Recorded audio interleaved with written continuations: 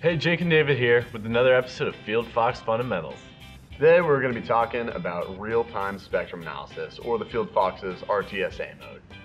And in traditional SA mode, the FieldFox is taking measurements for a small period of time and measuring amplitude over time, and then a small period of time after that, converting that data through FFT math to a frequency spectrum and putting this onto display.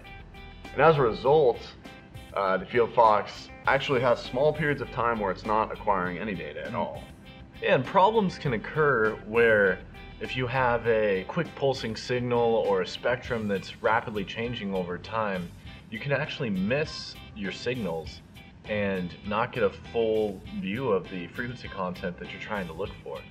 So with the RTSA mode, instead of having a period of data acquisition and then a period of FFT math, and then another period of data acquisition, you actually have a period of data acquisition, and then while it's doing the processing on that information, another data acquisition period is occurring. So you have gapless data acquisition that allows you to capture signals that you would normally miss.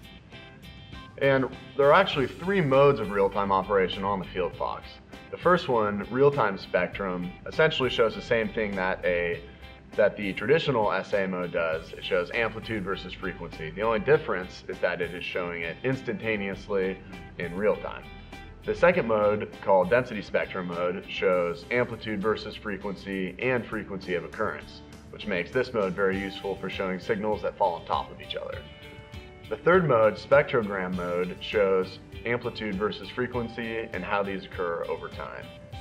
So what we're looking at today is the Bluetooth and Wi-Fi band at about 2.4 gigahertz on the FieldFox.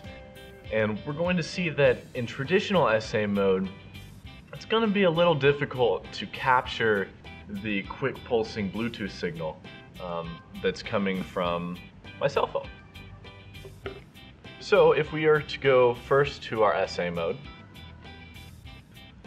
we will see that it's very difficult to capture the quick pulsing Bluetooth signal being transmitted from my phone. We see bits and pieces of it pop up here and there, but since there are gaps in our data acquisition, we miss a lot of the content that we're hoping to capture. So to remedy that, we're going to look at the real-time spectrum view within the RTSA mode. It is here within this mode that we're able to capture the full Bluetooth pulse we're able to see things that we would normally lose within our traditional SA mode. So by utilizing the different views within the real-time spectrum analyzer mode, we're able to get a great view of what's really going on in our spectrum and see a lot of things that we wouldn't normally see in a traditional SA mode. One of those things was an interfering pulse that we're actually going to take a deeper look at next time as we go into our pulse measurement video. If you'd like to learn a little bit more about real-time spectrum analysis, just visit the app note in the description. Thanks for tuning in, and we'll see you next time.